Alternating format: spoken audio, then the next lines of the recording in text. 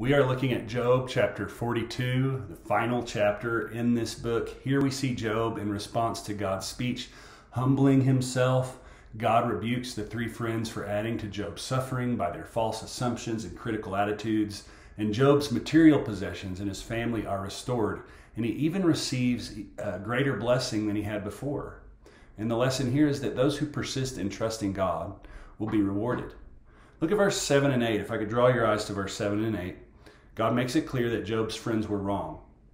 The fact that God is not mentioned, he doesn't mention any specific sins, shows that God confirmed Job's claim to have led a devout and obedient life.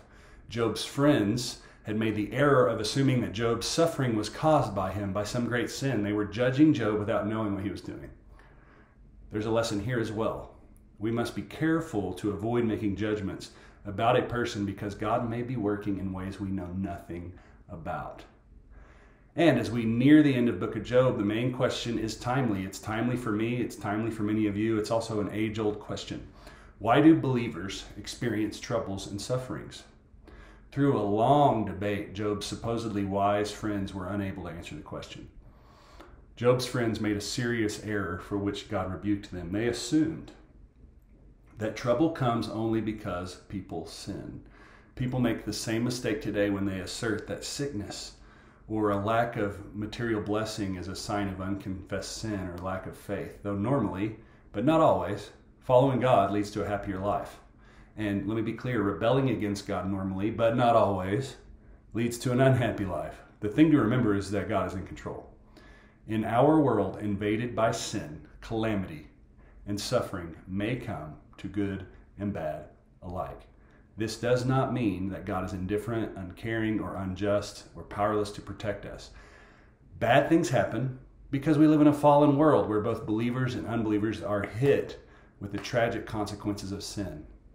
God allows evil for a time, even though he often turns it around for good, as you can read in Romans 8:28. We may have answers.